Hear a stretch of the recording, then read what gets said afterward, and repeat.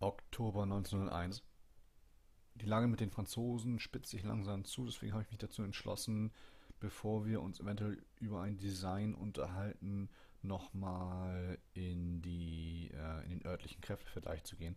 Einfach mal reinzuschauen, wie wir jetzt eigentlich so im Vergleich zu den Franzosen in einigen Regionen der Welt dastehen. Gerade in den Regionen, wo wir eben gemeinsame äh, Besitzung haben. Nun scheint Nordostasien relativ unerheblich zu sein für einen Zusammenstoß mit Frankreich. Allerdings sind diese Regionen hier doch deutlich interessanter. Und hier haben wir zwei leichte Kreuzer und zwei schwere Kreuzer und einen leichten Kreuzer. Also relativ viel im Südpazifik. Äh, dann haben wir hier noch den, die südafrikanische Spitze. Hier scheinen die Franzosen nicht vorhanden zu sein. Frankreich mit einem leichten Kreuzer hier vertreten im Indischen Ozean. Ein schwerer Kreuzer in Westafrika. Was machen wir daraus? Unsere bisherigen Überlegungen hießen ja, dass unsere leichten Kreuzer durchaus äh, konkurrenzfähig sind äh, mit den leichten Kreuzern der Franzosen. Deshalb bin ich etwas dazu verleitet, dort, wo die Franzosen einen leichten Kreuzer haben, einfach mit 1 zu 1 zu reagieren. Also hier zum Beispiel im Indischen Ozean. Da würde ich ganz gerne einen hinschicken. Wir haben auch nur zwei bisher, ne? Das ist auch nicht so viel.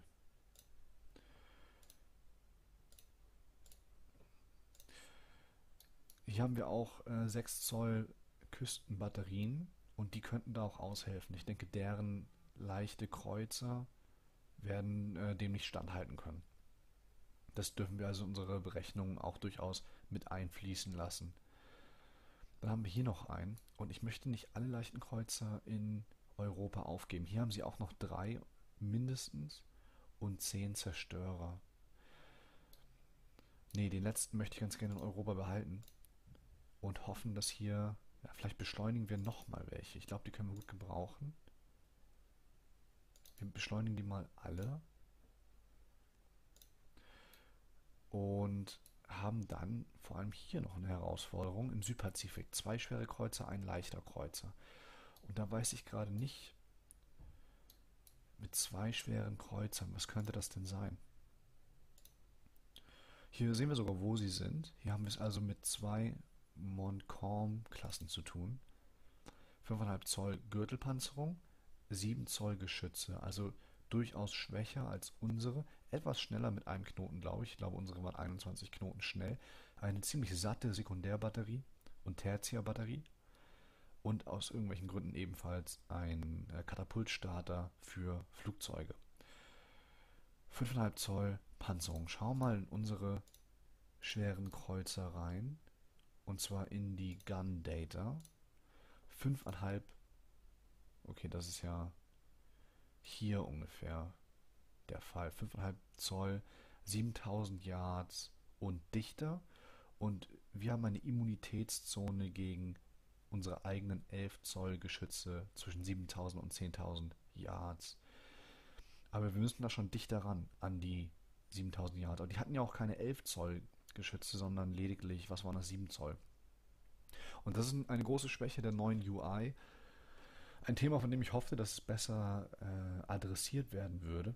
Allerdings haben wir keine Möglichkeit hier andere Geschütze zu vergleichen. Also wir können unsere eigene Verwundbarkeit nur gegen die eigenen Geschütze vergleichen, was natürlich überhaupt gar keinen Sinn macht. Wir könnten hier mit großem Aufwand hier die Geschütze rausnehmen und 7 Zoll Geschütze jetzt einbauen. Aber das ist mir zu viel Hackmack. Also ich denke, bei 7000 Yards werden wir, 7000, 6000 Yards, so auf den Kampfentfernungen wollen wir uns aufhalten und dann sollten wir uns im ganz guten Bereich bewegen. Wenn wir jetzt also einen schweren Kreuzer, zwei Zerstörer hernehmen und diese in den Südpazifik schicken, dann bin ich damit erstmal glücklich. Ich denke, unser, unsere schweren Kreuzer können es durchaus in einem Verhältnis 2 zu 1 mit deren schweren Kreuzer aufnehmen äh, was haben wir jetzt gesagt? South Pacific, Südpazifik.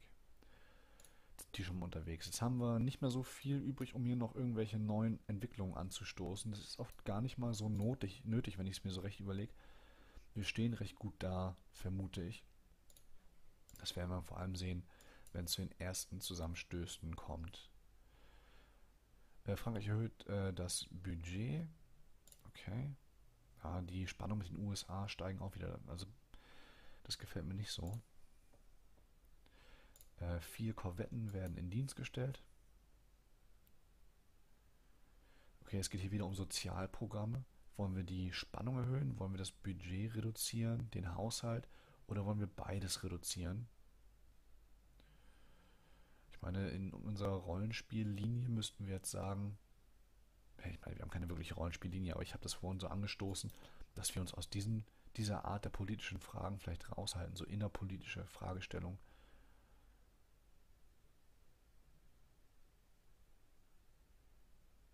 Wenn wir jetzt so die Spannung durchweg erhöhen, dann könnte es auch mit den USA halt schief gehen, ne? Aber wir protestieren mal gegen den äh, Vorschlag, ich möchte eigentlich ungern Geld einbüßen. Und die Franzosen bauen 11 Zoll Küstenbatterien in Nordeuropa. Okay, es hat unsere direkte Konkurrenz gar nicht so betroffen. Okay, weitere Dienststellung. Die Regierung ist besorgt über Spannungen, die in einen möglichen Krieg führen werden. Du sollst äh, deinen Rat dazu geben. Was empfiehlst du? Okay, wir können den Haushalt und die Spannung erhöhen. Wir können äh, beides reduzieren oder wir könnten versuchen, eine, ein Abkommen mit jemandem zu schließen. Ich ich sehe jetzt keinen natürlichen Verbündeten hier in dieser ganzen, vielleicht die Italiener. Ich meine, ich habe noch nie probiert, in diesem Spiel Bündnisse auszuhandeln. Ich weiß nicht, ob das vielleicht in einem Rüstungskontrollabkommen enden könnte. Wir probieren das mal aus. Äh, wir könnten versuchen, die Italiener mit ins Boot zu holen. Das haben wir auch tatsächlich getan. Ich, äh, wir schauen mal, was es genau im Sinne der Spiellogik dann machen wird. Aber ich denke, es kann uns gegen Frankreich eigentlich nur helfen. Gut, aber Spannung mit den USA sind jetzt wieder sehr hoch. Ja, das, das macht mir hier Sorge. Das macht mir hier große Sorge. Wo sind denn unsere Schiffe, die wir gerade, die sind bald da? Was haben denn die Amerikaner hier in diesem Bereich? Einen schweren Kreuzer, hier vermutlich nichts. Hier haben wir auch keine gemeinsamen. Also eigentlich könnten wir nur hier mit den USA zusammenstoßen. Machen wir weiter und hoffen, dass es irgendwie, also Hoffnung ist eigentlich eine schlechte Strategie, aber wir können das hier leider recht wenig beeinflussen. Die Gazelle ist in Dienst gestellt. Bessere Feuerleitsysteme. Wir, ich denke, wir investieren direkt wieder in die nächste äh, Werftgröße und haben echt satt Geld übrig. Ne? Wir haben wirklich satt Geld übrig. 18.000 Tonnen könnten wir jetzt bauen. Äh, schauen wir den Amerikanern rein. Zwei Schlachtschiffe vorhanden, eins in Bau, elf Zerstörer werden gebaut. Und hier der einzige Raum, der irgendwie interessant sein könnte. Was könnte uns gegen die Amerikaner helfen? Unter Umständen ein neuer leichter Kreuzer, der schneller ist und uns deshalb einen besseren Handelskrieg ermöglicht. Unter Umständen allerdings auch tatsächlich eine neue Schlachtschiffklasse. Arizona-Klasse. 13.200 Tonnen, drei Stück vorhanden. Ich sehe da eigentlich nicht so den, den Handlungsbedarf. Was haben die denn hier? Base Capacity riesig groß auf den Philippinen. Die können viel mehr hier stationieren. Das könnte zum Problem werden. Haben wir denn hier schon was haben wir denn hier nochmal? Basen gebaut, Caroline Islands und Northern Marianas. Nee, das wäre tatsächlich was, hier so ein Infrastrukturprogramm anstoßen. Das könnten wir durchaus. Was ist denn hier schon groß? Nix wirklich. Könnten versuchen hier Geld auszugeben für eine Infrastruktur, einen, ha einen Hafenausbau und bauen dann nochmal eine 6 Zoll Batterie. Vielleicht gehen wir schon die 7 Zoll. Die scheinen ja hier vornehmlich durchaus schon schwere Kreuzer im Raum zu haben. Natürlich vergessen, wie hier unsere Basis hieß. Schauen wir mal rein, bevor ich irgendeinen Quatsch baue. Was waren hier die... Ne, stopp, der hier war das. Ja, Caroline Islands, die haben schon fünf Punkte. Äh, Build Base. Da haben wir sie. Oh, 7 Zoll. 2400 1000 sind es ja im Grunde, also 2,4 Millionen machen wir jetzt noch im Monat plus. Das ist schon recht viel. Wir haben ein Abkommen mit Italien, das ist ja auch äh, nett angezeigt. Ja, ist die Frage. Im Bau befinden sich zwei leichte Kreuzer und noch der letzte, die letzte Korvette. An was fehlt es uns denn? Wir könnten ein U-Boot-Programm auflegen, aber ich sehe uns da jetzt nicht so als Vorreiter erst einmal. Wir könnten einen neuen leichten Kreuzer entwickeln. Die Schlachtschiffe sehe ich hier noch nicht so altbacken. Zerstörer haben wir natürlich auch schon die Möglichkeit, 600 Tonnen zu bauen. Wir müssen eben auch noch für die leichten Kreuzer das alte Panzerdesign benutzen. Ne? Also wenn wir jetzt reingehen in den Design Ship Bildschirm, dann haben wir unten ein Armor Scheme, also eine, ein Panzerungsdesign. Und die leichten Kreuzer müssen zurzeit noch das schlechteste, das Protected Cruiser Design benutzen. Und es wäre natürlich gut, wenn wir die nächste Generation gleich schon mit, den, äh, mit dem Slope Deck bauen können, sobald wir die Forschung hier freigeschaltet haben. Aber den Luxus haben wir vielleicht gerade gar nicht. Wie schnell sind denn eigentlich die französischen leichten Kreuzer? Sind hier bei 18 Knoten. Das ist doch jetzt nicht dein Ernst. Das ist ja nichts.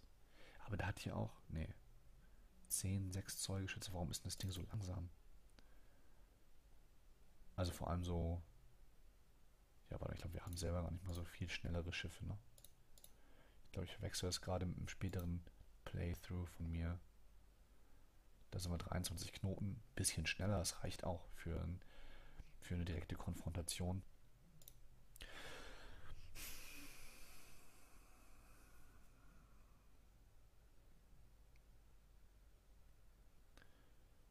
Ich glaube,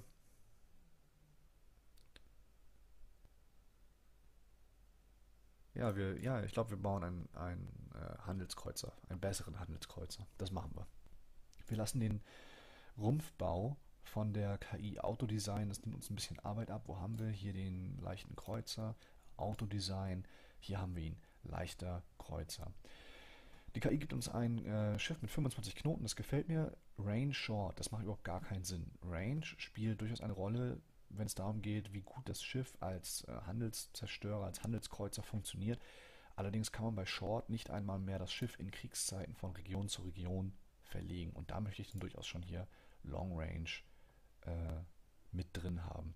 Ich weiß allerdings nicht genau, was abgesehen von der Effizienz als Handelszerstörer, als Handelskreuzer, hier Medium, Long und Extreme macht. Da wäre ich für zweckdienliche Hinweise dankbar. Wir machen aber erstmal Long.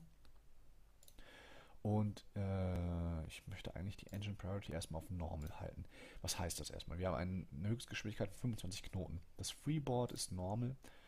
Was heißt das? Das Schiff, bei Low ist es sehr flach. Und damit ist das Schiff sehr äh, anfällig für schlechte Witterung. Allerdings habe ich noch nie so ein Schiff gebaut, das heißt, ich lasse das hier auch bei Normal. Wir wollen natürlich auch, dass dieses Schiff schön andere Schiffe jagen kann. Range habe ich gerade schon erklärt. Engine Priority in dem Fall Normal, also eine ausgeglichene Priorisierung der Antriebstechnik. Wir können das Ganze auf Speed priorisieren lassen. Das würde bedeuten, dass das Ganze störanfälliger wird, allerdings sparen wir uns Gewicht bei gleichbleibender Geschwindigkeit und umgekehrt könnten wir dann eben auch auf Zuverlässigkeit äh, priorisieren, aber wir lassen es erstmal hier so. Fuel Type Kohle erst einmal, später kommt noch Öl und Diesel dazu, können wir uns alles noch nicht leisten, beziehungsweise noch gar nicht bauen. Panzerung 2 Zoll für den Gürtel. Ich lass uns erstmal auf 2,5 gehen. Die Turrets machen wir auch auf 2,5. Also die Türme. Das Deck spielt erstmal weniger eine Rolle. Ich glaube, da lassen wir es auf einem Zoll. Äh, der erweiterte Gürtel, das lassen wir auch so, wie es ist. Belt Coverage, also die, äh, die Gürtelabdeckung, die können wir auf schmal oder normal gehen. Ich bin fast dazu geneigt, hier mal Narrow auszuprobieren. Das ist neu in Rule the Waves 2. Und wenn das Ganze als Handelzerstörer ich sage mal Zerstörer, also ein Handelskreuzer, dann als Handelskreuzer funktionieren soll, dann wäre das Ganze vielleicht eine lohnende Sache. Aber wir packen erstmal alles rauf, was wir haben wollen und dann reduzieren wir am Ende Gewicht. Der hat hier einige Swivel Mounts bekommen. Das sind die Dinger hier, also Torpedo-Lafetten, doppelt, äh, doppelte Torpedo-Lafetten, die wir, vermute ich, drauf lassen. Ich lasse sie erstmal drauf und dann gucken wir gleich mal. Vielleicht tauschen wir sie gegen einfacher aus. Ich bin mir noch nicht ganz sicher. Ich möchte hier kleineres Kaliber haben. 5 Zoll reichen mir aus. Allerdings möchte ich auch Türme hinzufügen, nämlich welche nach hinten schießen können, um Verfolger abzudrängen. Die hier. Äh, wir haben 140 Granaten pro Geschütz. Ich möchte das auf 130 reduzieren, vielleicht auf 120 erst einmal. Das Ganze soll ja auch kein Schiff sein, das hier in ausdauernde Feuerkämpfe eingreifen kann. Äh, wir haben wenige Sekundärwaffen, das ist auch okay soweit.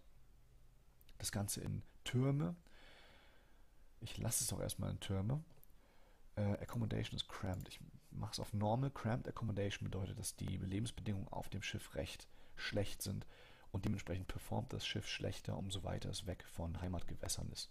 Äh, Protected Cruiser Design, das habe ich vorhin schon erklärt. Hier kann man schemenhaft erkennen, wie die Panzerung im Schiff angebracht ist. Also ihr müsst euch vorstellen, ihr schaut euch einen Querschnitt von hinten an und so würde sich dieser Bogen, dieser Panzerungsbogen durchs Schiff von hinten nach vorne hindurch bewegen. Das ist das Protected Cruiser Scheme.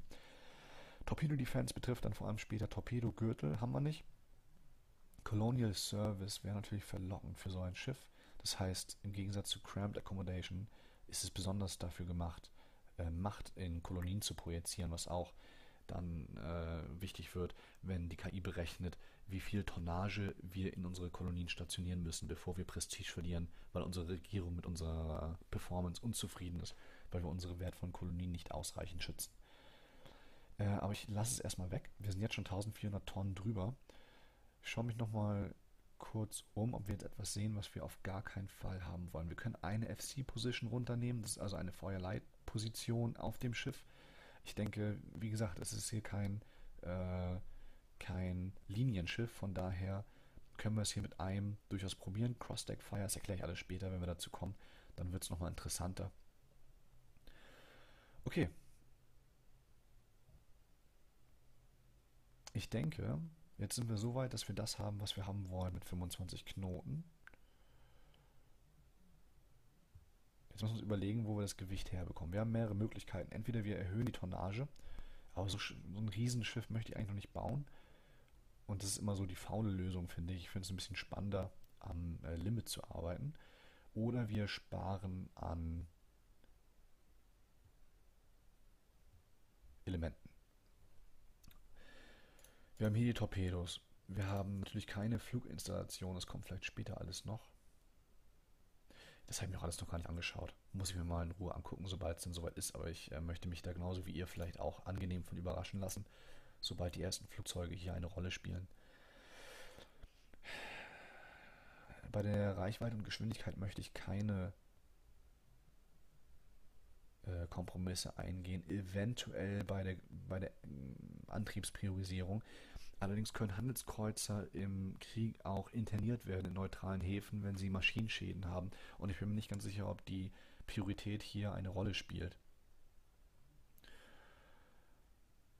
Wir haben, was für ein Displacement, was für eine Tonnage haben wir denn eigentlich bei unseren alten Schiffen? 5400 Tonnen, also das können wir durchaus machen, vielleicht 6000 Tonnen.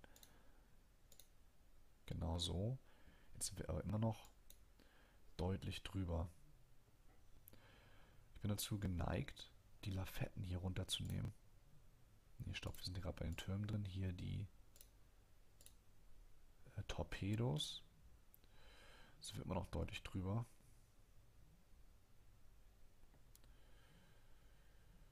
Cramped Accommodation können wir uns auf gar keinen Fall leisten.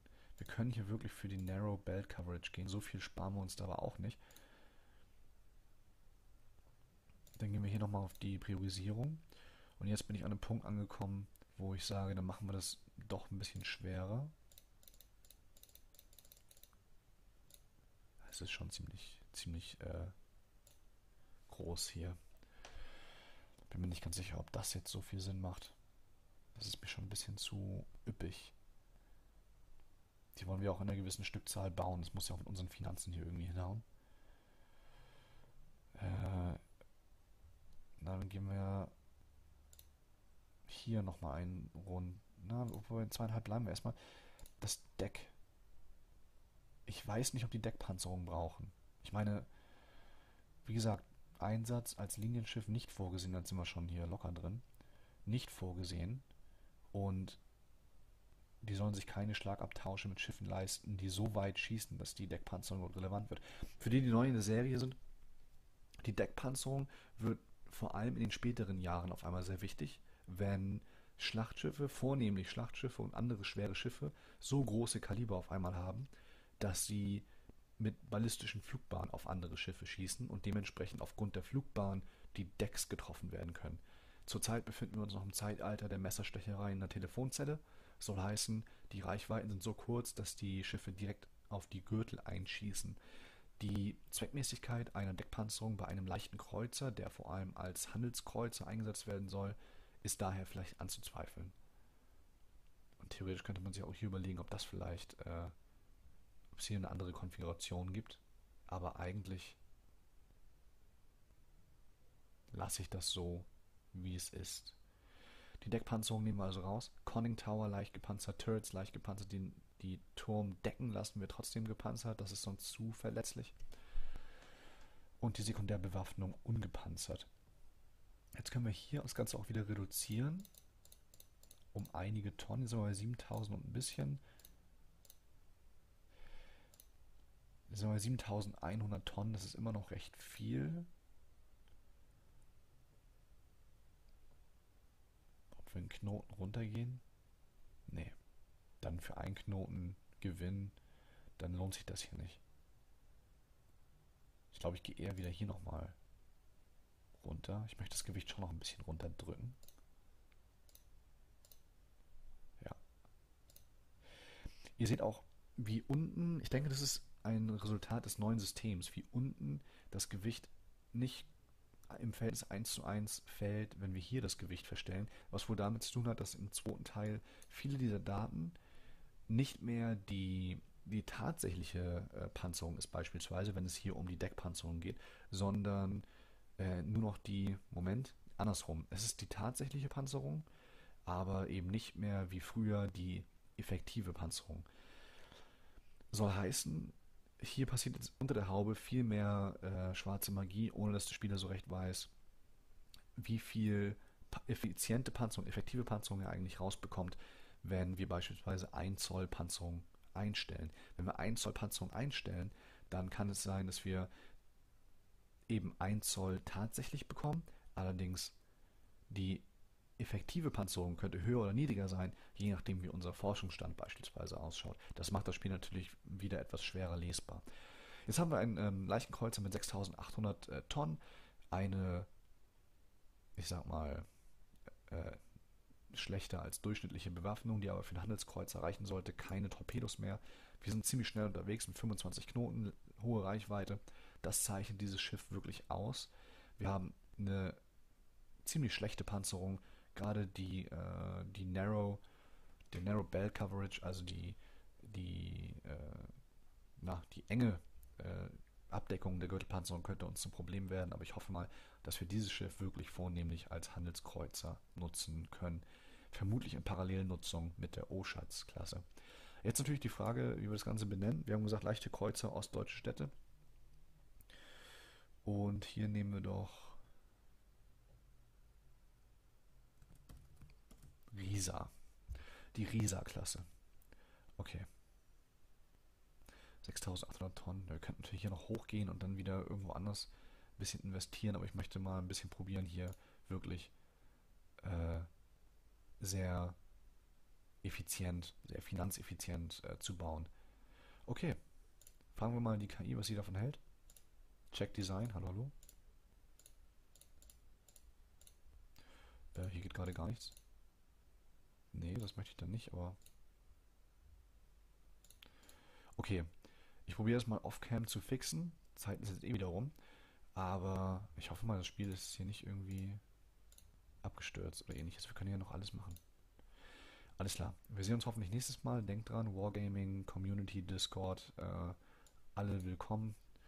Und äh, ich würde mich freuen, wenn wir uns dann das nächste Mal wiedersehen. Hoffentlich damit einer nicht abgeschlachteten Aufnahme. Also, bis dann. Haltet die Ohren steif. Ciao.